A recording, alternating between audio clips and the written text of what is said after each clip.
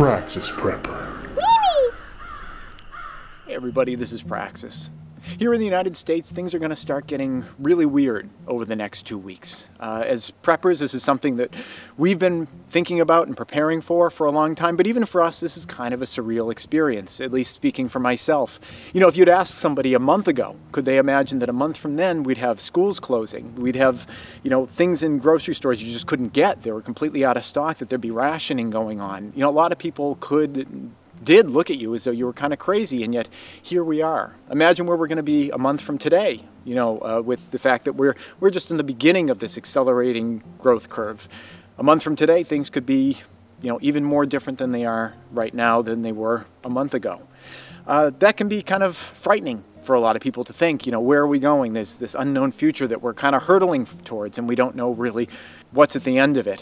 Uh, as preppers, I think historically we've always been driven to prepare for things like this because we look back in history and we see there have always been pandemics, there's always been diseases, unfortunately there are always civil wars, genocide, all these terrible things are just kind of part of the human experience, unfortunately. Uh, and they, they keep kind of coming back. And again, as preppers, we look back at those things historically and they, uh, you know, drive us to be prepared for those things when they invariably, unfortunately, happen again in the future. For most people, I think that can be kind of depressing to think about that, that, you know, these things are inevitable, that we're always going to have these things kind of, uh, uh, you know, following us, you know, like the Grim Reaper through history. Um, but there's another part of history that, you know, I think that gives you a little bit a sense of hope, and that is that these things have always happened in the past. They always had a beginning, they had a middle. We're entering that middle right now, but they always had an end. And we're going to get to that end as well. And by the end, I don't mean, you know, it's the end of the world, the end of days, the end of all things. I mean, we're going to go through this crisis, it will have an end. Not everyone's going to get to see that end, and that's why they call it a crisis, is because bad things are happening. Some people are going to die, unfortunately, during this. But there will be an end for the rest of us, and you know we are going to get to see that end, and we can make that end what we choose to. If we uh, are our best selves, well, our future could be better than our past was.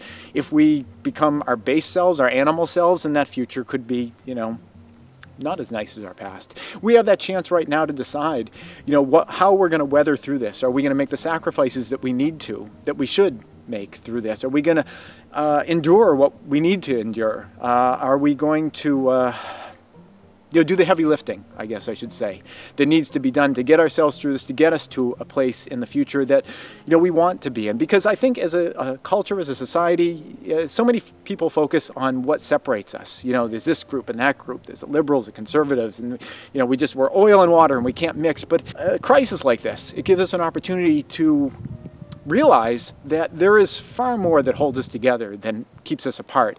I, I know that, uh, you know, the media, you know, politicians, particularly really ask people to focus on those differences. Maybe that might empower the politicians and the media. Maybe that gets you watching, so you watch through the commercial breaks because you know they create this sense of drama and anger, uh, you know, for their own purposes, and we're the victims of that. Uh, you know, our culture is the victim of that.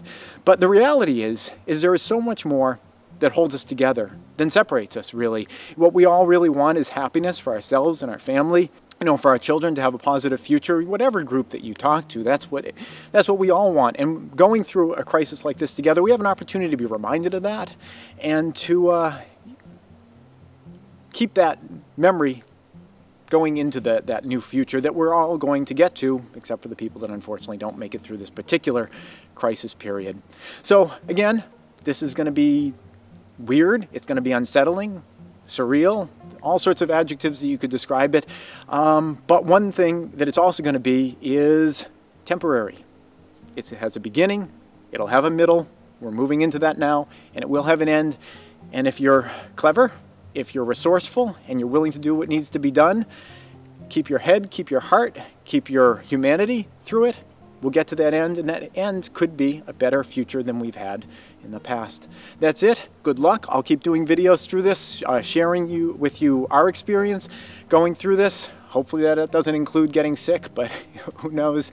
You know, and good luck to you as you go through this in the best way that you possibly can as well. Thanks for watching. This episode has been brought to you in part by Prescott Caliber Club and Jeske Defense Strategies. Prescott Caliber Club is a federally licensed firearm manufacturer and retail store specializing in firearms, survival gear, and producing great online content. If you want to thank them for supporting this channel, go check them out at prescottcalclub.com. Please subscribe and tune in every Friday at 4.30 New York time for a new video. And if you'd like to support this channel, you can do so both through Patreon or PayPal.